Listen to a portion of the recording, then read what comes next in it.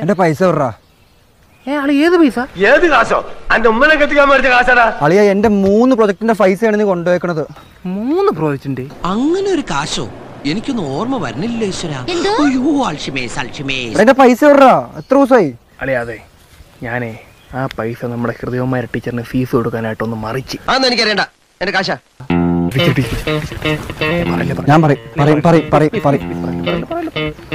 Good morning madam morning miss Dum നീ രണ്ടും കൂടെ എന്തിനാ ഇവിടെ കിടന്ന് കറങ്ങണേ. ഒന്നുമില്ല. ഞാൻ കുട്ടിയോട് സമയം ചോദിക്കുന്നു തന്റെ വാച്ചുണ്ടല്ലോ. പറഞ്ഞോലെ എന്റെ വാച്ചുണ്ടല്ല. എന്ത്?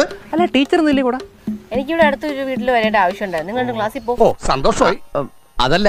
ഇവൻ എന്റെ കഴിഞ്ഞ ആഴ്ച കുറച്ച് പൈസ വാങ്ങിച്ചതാ. തരാൻ തരാന്ന് പറയുന്നല്ലാണ്ട് തരുന്നില്ല ടീച്ചർ നീ എന്റെ കയ്യിൽ നിന്ന് പൈസ മേടിച്ചിട്ടുണ്ടായിരുന്നോ? ഓ വാങ്ങിച്ച്. അത് തിരിച്ചു കൊടുക്കാത്തെ? എടാ കടം വാങ്ങിച്ചാ തിരികെ കൊടുക്കണമെന്ന് അറിയാൻ വയ്യേ. നീ എന്തിനു കടം വാങ്ങിച്ചത്? അത് പിന്നെ ടീച്ചറിന് ഫീസ് തരാൻ വേണ്ടിട്ടല്ലേ ഞാനൊന്നൊന്ന് എടുത്തത് മറിച്ചത്. ചേട്ടാ സാമ്പാറിന് നല്ല രസം. ഇത്തിരി രസം കുഴിക്കും. അവൻ തരും കേട്ടാ. ടീച്ചർ തരും തരും എന്ന് പറയുന്നല്ലാണ്ട് എപ്പ തരും എന്ന് പറ.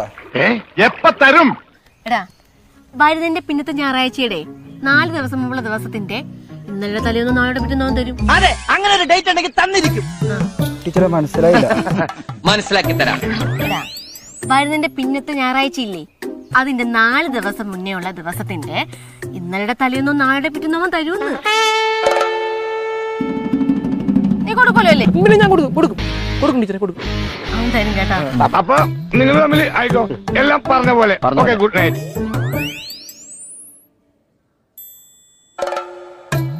എന്ത് തങ്കപ്പെട്ട മനുഷ്യനാടാ? ഇവനെ പറ്റി നീ തോന്നിയ ദിവസം പറഞ്ഞു. എന്റെ അറിവില്ലായ്മ കുറവുണ്ട് അങ്ങനെ പറഞ്ഞു പോയതാണ്.